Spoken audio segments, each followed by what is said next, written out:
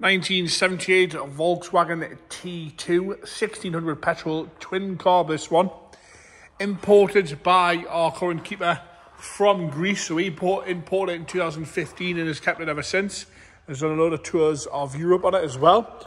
He informed us that it's had it's put coilover suspension on it recently well fairly recently anyway. Um, but he's owned it like I say since 2015 he brought it in from Greece. So it is a Greek import this one uh, you can have a good look at that there. We're going to start off the body, work, work our way around on the interior. We'll fire up to life as well. It's left-hand drive. Uh, twin, he's converted it as well to twin carb, twin port, twin carb, 1600cc. So, bodyweight wise, we're starting off the bonnet. It's a satin finish. It was originally orange, I believe, and he's painted it as sort of a satin blue, which you can't see there. With that um, checker across the front there, black and white. Lights all nice and clear all nice and straight, big sun visor on there with the checks matching the uh, the roof there again. Some sun fade and stuff. I think some of this has been done when it was in Greece. Down the right hand side, there's a few little marks underneath the paint here and there, but it's all it's all nice and solid. It's all there. Sliding door on the left hand side, uh, right hand side, sorry, because it's left hand drive. Load all the way around as well paint is a little bit satin on the sides. I quite like it. I like the fact that it's still a van as well, quite rare in that point. Obviously had a done here. We've got some, uh, where it says out there on the corner. Coming rounding down the back there. Again, all okay down there. There's a few bits here and there, but it, it sort of adds to the look. I say he's been going around the Europe a few times in it. Never had any problems. All nice and straight again down that uh, left-hand side. The sliding doors on the right-hand side, but it is straight for a van, for a panel van. Some gloss plate work on there just to square it up would look a bit better, but a few little marks here and there down the left-hand side.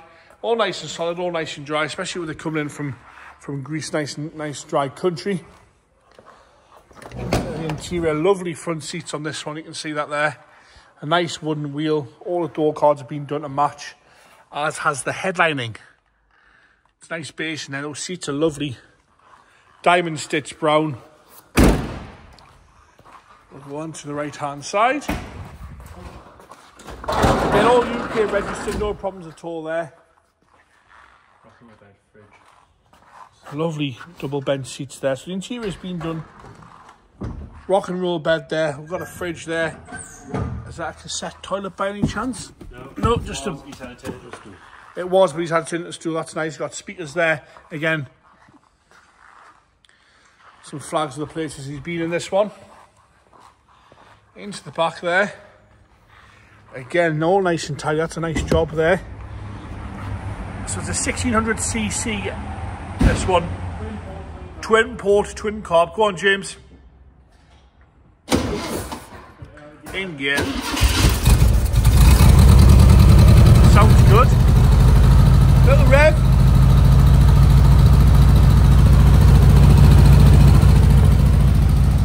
Sensibly priced this as well. A good base to start with.